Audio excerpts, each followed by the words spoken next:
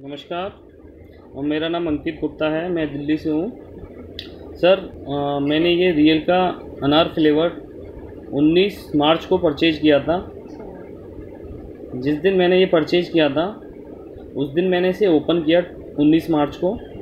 उसके बाद इस इस जूस को मैंने फ्रीज में रख दिया। फिर twenty first twenty first March को मॉर्निंग में मैंने इस जूस को जब ओपन किया तो इसमें से बहुत ज़्यादा गंदी स्मेल आ रही थी। तो जब स्मेल आ रही थी तो मैंने इसका इंडिकेशन पढ़ा, उसमें लिखा हुआ था कि ओपन करने के फाइव डेज़ के अंदर आपको इसे ख़त्म करना है। लेकिन ये मैंने एक दिन छोड़कर दूसरे दिन यूज़ किया मतलब तीसरे दिन।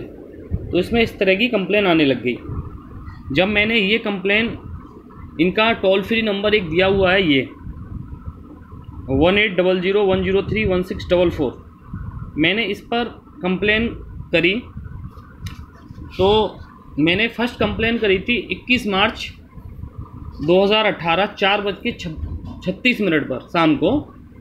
तो मेरी कंप्लेन दर्ज हो गई और मेरी आपके एग्जीक्यूटिव से रियल वालों की और डावर इंडिया के एग्जीक्यूटिव से 9 मिनट 35 सेकंड बात हुई, जिसमें कि मुझे उन्होंने कंप्लेन नंबर दिया D double one eight two one six three zero two eight two उन्होंने कहा, सर 24 घंटे के अंदर इस पर कार्रवाई होगी और आपका पीस रिप्लेस करके दे दिया जाएगा.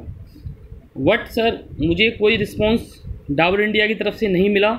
उसके बाद मैंने ट्वेंटी फिफ्थ मार्च को फिर फ़ोन किया चार बज के तीन मिनट पर और मेरी दो मिनट आठ सेकंड बात हुई इन्हीं के किसी एग्जीक्यूटिव से। तो उस एग्जीक्यूटिव ने मुझे सेम सांत्वना दी जो कि ट्वेंटी फ़र्स्ट को जब बात हुई थी उन्होंने बोला था कि दो दिन के अंदर कार्रवाई होगी। शायद कुछ मिस हो गया होगा इस वजह से आपके पास कॉल नहीं आ पाया। तो सर मैं वेट करा उसके बाद दो तीन दिन। फिर उसके बाद मेरी ट्वेंटी सेवन को फिर मैंने फ़ोन किया शाम को पाँच बज के ग्यारह मिनट पर उस टाइम मेरी दस मिनट बात थी मिस्टर प्रतीक से। तो प्रतीक जी ने सारी इन्फॉर्मेशन दोबारा ली जो कि मैं तीसरी बार दे रहा था उनको। और उस, उसमें उन्होंने सारा कुछ पूछा एमआरपी और इसका एमआरपी कितना था? और बैच नंबर क्या था? कब परचेज किया? कब ओपन किया? और कितने दिन में स्मेल आने लग गई? तो सेम वही 125 साल पुरानी कंपनी का सेम वही वादा कि दो दिन के अंदर कार्रवाई होगी। मैं एक आम आदमी वेट करने लगा, सोचने लगा, शायद कुछ ये लोग करें, क्योंकि इतनी बड़ी कंपनी है, इतना बड़ा नाम है, लेकिन मुझे कोई फ़ायदा नहीं मिला। और 29 के बाद 27 के बाद मैंने फिर 29 को मॉर्निंग में दस बजकर तीन मिनट पर फ़ोन किया। उस समय मेरी बात किसी मोनी, म- मोनियन, मोनिना नामक लड़की से बात हुई, जिन्होंने मुझे सेम सांत्वना दी कि आपकी कार्रवाई की जाएगी और आपका जो जूस है, अनार फ्लेवर वो एक्सचेंज कर दिया जाएगा। तो मैंने ठीक है, फिर मैंने वेट किया। उसके बाद कोई रिस्पांस नहीं आया। तो फिर मैंने फाइनली तीन अप्रैल को एक फ़ोन दोबारा किया ग्यारह बज के इक्यावन मिनट पर, और जिसमें कि मेरी सत्रह मिनट तेईस सेकंड बात हुई इन्हीं के एक एग्जीक्यूटिव से। तो सेम वही प्रोसेस सेम वही सांत्वना व्हाट कोई रिस्पांस मुझे अभी तक नहीं मिला है। आज ये मैं वीडियो बना रहा हूँ 6 अप्रैल 2018 शाम के सवा सात बज के पंद्रह मिनट पर।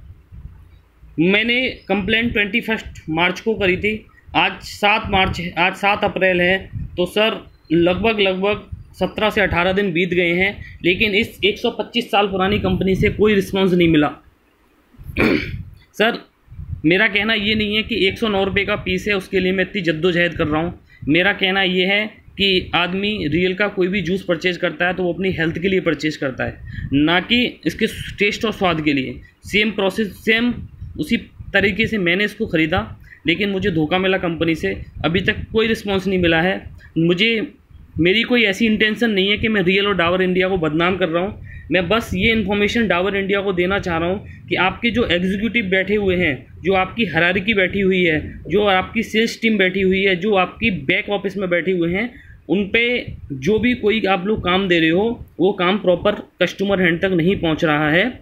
आप इतनी फ़ील्ड फोर्स लगा के एक सेल्स टीम तैयार करी है, एक आपने बैक ऑफ़िस तैयार किया है, जहाँ पे कि आम जनता की शिकायत को सुना जा सके और उस पर कार्रवाई हो सके। लेकिन ऐसा कुछ नहीं हो रहा है तो मैं बस डाबर इंडिया के कान खोलना चाहता हूँ कि आपने जो भी एग्जीक्यूटिव हायर किए हैं, वो आपका काम प्रॉपर करके नहीं दे रहे हैं। रही बात क्वालिटी की तो मैं सेटिस्फाई नहीं हूँ इस टाइम रियल के अनार फ्लेवर से। पहले भी पिछले, मैं दस बारह साल से कम से कम रियल का जूस परचेज रेगुलर कर ही रहे हैं हम लोग। लेकिन आज तक ऐसी कंप्लेन नहीं आई। लेकिन इस बार कंप्लेन आई तो उसका कोई सॉल्यूशन नहीं निकला। तो सर, मैंने ये डिटेल नोट करी है जब जब मैंने फ़ोन किया है, ये मेरी कॉपी पे लिखा हुआ है पूरा, जो कि मेरा कंप्लेन नंबर है। ये दो एग्जीक्यूटिव के मेरे को नाम याद हैं, प्रतीक और मनीना। और ये ये डेट थी जब जब मैंने जितनी जितनी बात बात करी है, ये सारी डिटेल है मेरे पास।